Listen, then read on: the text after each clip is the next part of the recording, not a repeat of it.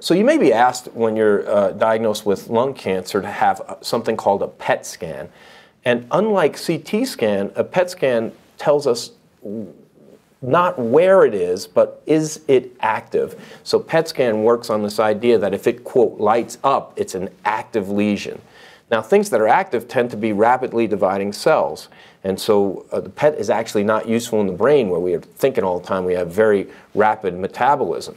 In the lung, if a lesion lights up in the lung, it's rapidly uh, dividing cells, and it may be a cancer.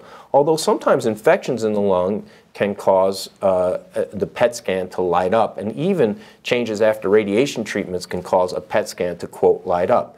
The PET scan can tell us if and where lesions are active, and they sometimes pick up disease we didn't suspect outside the chest, for example, in the bone or the adrenal gland or the liver.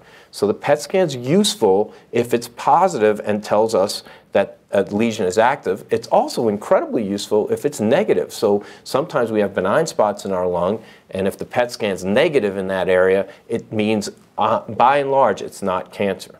One strong uh, recommendation in this area, though, is if you have a positive PET scan, it doesn't always mean cancer. 20% of the time, it's falsely positive, especially in patients who have infections around a certain area. And so we often recommend doing a biopsy to confirm that that PET scan is, in fact, really cancer or could it be something else? And sometimes we're really surprised at the results of the, of the biopsy in patients who have a positive PET scan and it turned out not to be cancer, which is good news for our patients.